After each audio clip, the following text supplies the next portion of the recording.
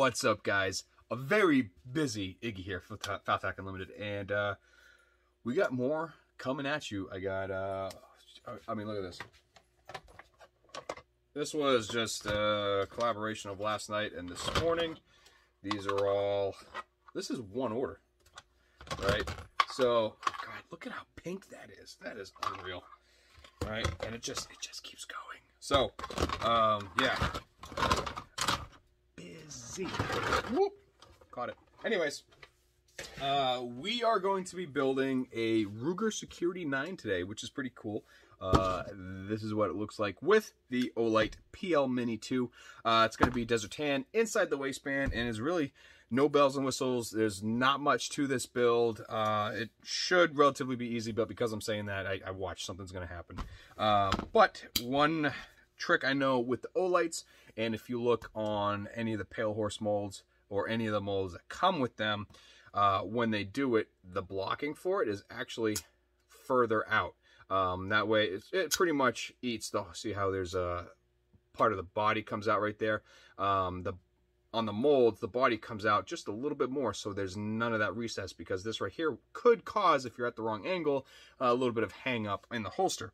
Um, so I've noticed that mold makers will bump the light forward a little bit and then they'll go off of that. So when you put it in the holster, your light is actually going to sit back inside the holster and it'll pretty much work perfectly.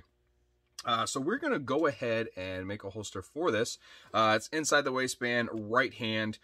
Like I said, nothing to it, and we're going to get this out of here because it should have been out a while ago. Um, as far as an update, But let's just cut the chit chat and let's go straight to molding. First things first, my Fancierstudio 15 by 15 heat press is on. It is heated up. Um, we haven't pressed it yet. We're going to do that a little bit later when we're ready. But uh, my settings will differ from your settings, but it's at 390 for 150. And uh, again, the reason why we do a cycle before the Kydex is in there, so as all the foam comes out, or not all the foam, all the moisture comes out of the foam because that will uh, that will hurt you in the long run. You don't want that. You'll have little bubbles that show up, and it's just not good. So um, that will help eliminate that. Also, keep your Kydex in a pretty much a dry place. Don't keep it anywhere near where water can go. All right, so straightforward. Uh, I just took all the blocking or all the tape off the blocking that I did on the previous builds. Um, so we're going to go ahead and pretty much just tape this up and get where we're going. Get the medium tape right here. This is the easiest side to do. Again, five layers of tape. And that's going to bump out the Kydex from the surface of the firearm so it doesn't get any scratches in the slide or premature wear on it. Alright, there's five. Make sure it's on there good. Alright, this side, there's no, if you remember it, there's nothing here that needs to be blocked, so we're not going to worry about anything. And the tape actually wraps around to the other side. Awesome. Uh, the only thing that's going to go here is the blocking for the foamy, which is going to be this right here. Uh, placement. I have seen some holsters where the placement is way up here. All well and dandy, but that doesn't give you good balance. I like to personally put it in the center. So we're going to have this hovering above the trigger guard, and it's going to be resting against the body. And the way I do it is, let me grab a foamy. The way I line it up is where your hand is for your purchase, your belt should be under your knuckles. And that's how I do it for all of my holsters. So, right there, belt, line, right there. So as long as your belt is past your knuckles, that's how I do it. And that's how I do it for all of them. Another reason why you don't want it way up here is when you adjust your cant, it's still on the body, it's still on the frame. If you're up here, it's going to be off the frame and then you only have this little chunk and when you go to pull your firearm the holster will pull with it. So we're gonna get this on here.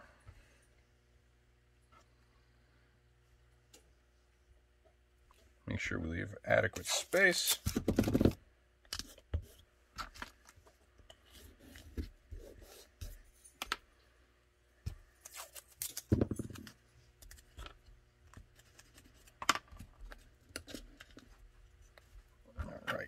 and this is going to go here, but we're going to work on that a little bit. Um, pretty much we have blocking for it, and then we're going to have another small piece, not this one, but a small piece going over here, because when you have blocking like that, see, it's off the body, and that'll do the same thing. But until we get there, let's do this side. Might have to, tape is moving this a little bit, so no biggie right here.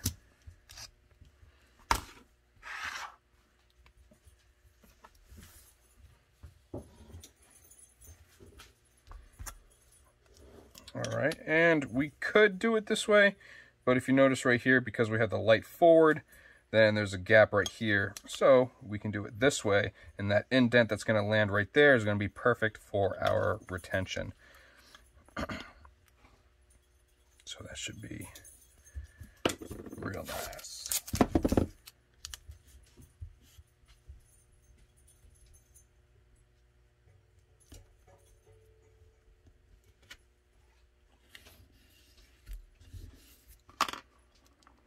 Taped on there.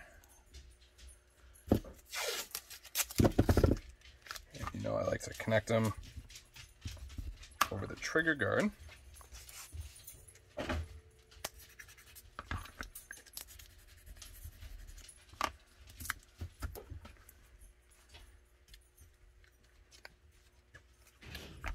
Beauteous. And then we could feel all the controls which need to be blocked out as well.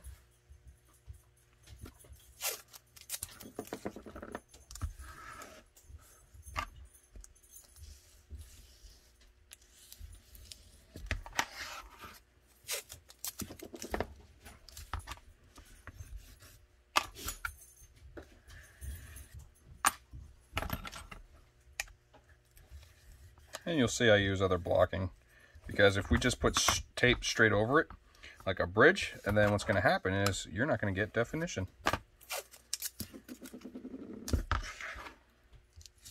All right, now let's get back on this side. And we'll probably do something like that. But we need this over here, and we need to find something that is adequate enough to hold that in place, like so.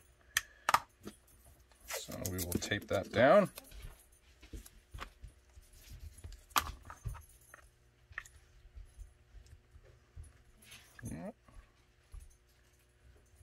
And we'll line ourselves up where we need to be.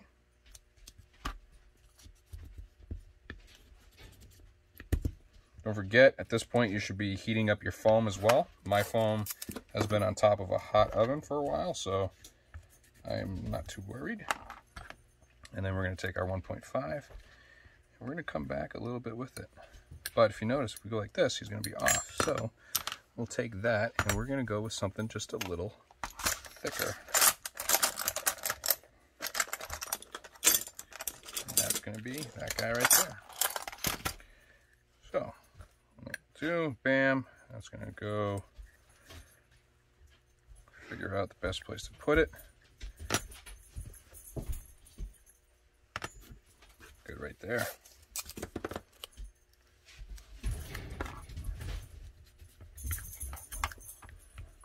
All right, now we need to do our retention plate, which might have to cut a whole brand new one. Got a lot of shop help today. Right, Ava? And Cleet? What's up, buddy? Hi, pretty girl. We got our other one. Where are the others? Yeah, hi, Bean. There she is. Up of a girl. Hi, sweetie. Yeah, I can't forget you guys. Yeah, I know. Couple things going on. Our piece is cut. So pretty much what I do is I order them in either two foot by four foot sections or one foot by two foot. Just makes things a lot bit easier instead of doing just eight inches by eight inches. Uh, so anyway, this is the one by two. Actually, it's flipped. Yada yada yada. Okay, so I got this all prepped and all everywhere it needs to go. All right, and I take this. This is the one foot side. Bam, and then I just cut it right down so it's one inch wide, or one inch wide. Wow, 12 inches wide by however deep I need it to be. Um, and basically what you want to do is enough to cover the end of the slide and the front of the muzzle. Uh, I generally put it to the top or the front of that. Doesn't really matter. You can go anywhere from the muzzle to in between depending on your setup. So uh, we got this right here. Now, on top of this, oven was on, so all that is warm. And this is currently getting the moisture out of that. It's got another 90 seconds before that pops. And then we're going to throw everything in there. And if you notice, there's four pieces of foam up there. Yep, four. Going to be going ahead and doing all four on this press because uh, we're going to get all of the definition. But uh, no, really, if you use four pieces of foam, then uh, the retention plate will stay in the center a lot better than if you don't. So let's get to it. Everything's in the press, and I'm outside enjoying the weather because it's hot in there and had the garden started, yada, yada, yada. But um, I want to show you what happened the other day. So, you know, I, I have, I, I like cars. This is what I do.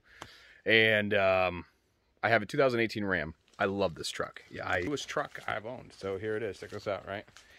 I love it. So I'm taking the girls to Hobby Lobby. And all of a sudden, out of the blue, this giant, giant turkey came out and look what it did. I can cry. So on top of going through my grill, it rolled in my hood.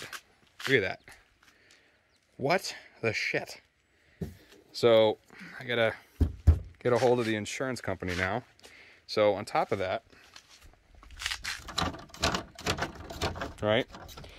And because of that, you got all the scratches on the bumper, so that's gonna have to be fixed.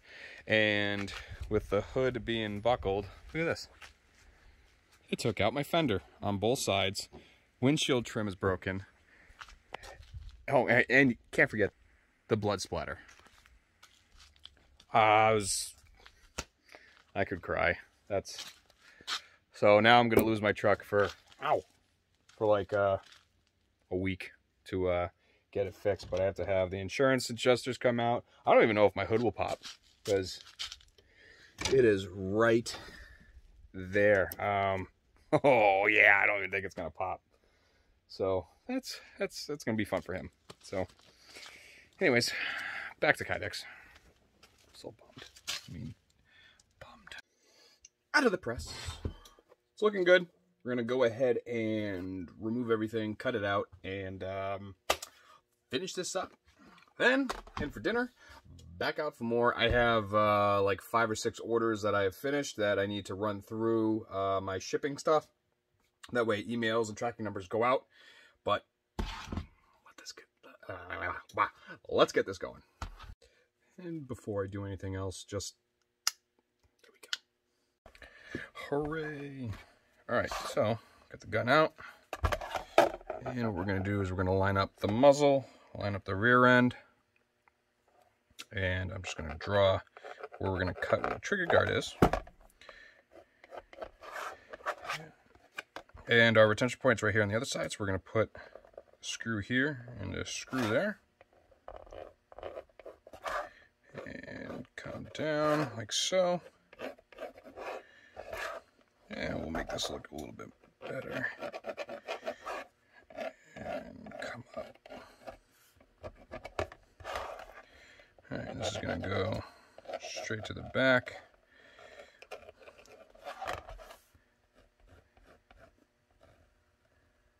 And we'll come down. Let's see here.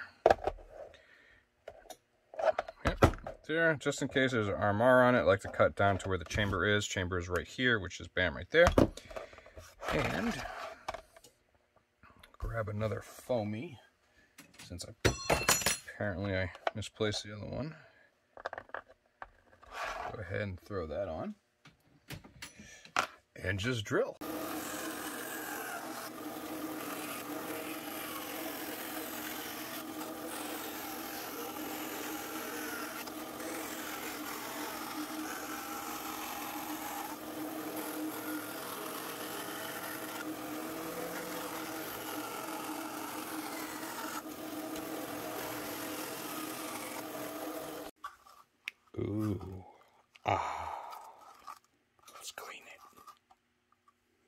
All cleaned up. Not much to do.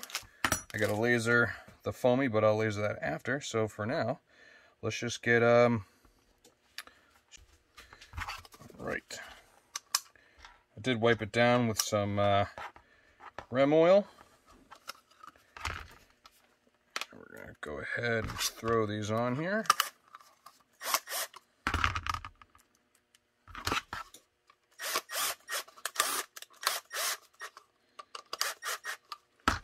All right, at this point, I'm gonna check fitment and then we'll go from there. So our retention will be right here. Um, if I need to adjust it, we're gonna go ahead and heat that spot right there, but I'm gonna check it out. All right, here we go.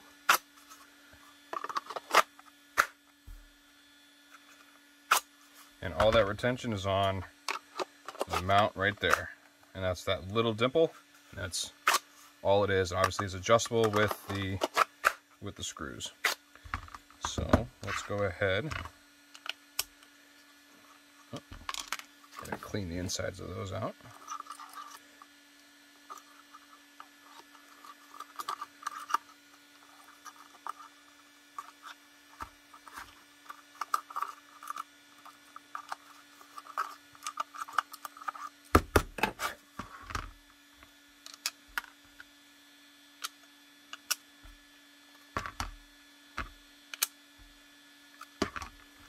And again, just gonna laser this.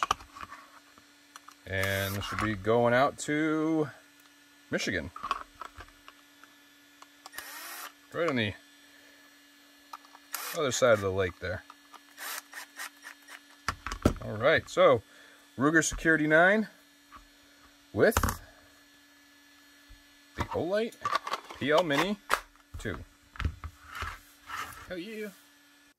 Now this holster came out amazing and all the material that you've seen is bought from holstersmith.com. These guys are my go-to for absolutely everything on the channel. You can see here all of the attachments for inside, outside, the claws, the strapping, the clips, everything you need to make the perfect holster for you and your customer. Now, as well as all of those clips, you can get all of the full drones. For example, this right here is multi-molds, and this is everything that multi-molds and On Target offers through holstersmith and knifekits.com. Now, you got to remember as well, free shipping over $49 to the continental US, which means one mold free right to your house. Also, as you can see on the screen, this is all the blocking that I use. Every single one of these I actually have in-house pretty much, uh, along with my aluminum stuff, but you can get anything you want here. And I absolutely love this place, and it's my go-to.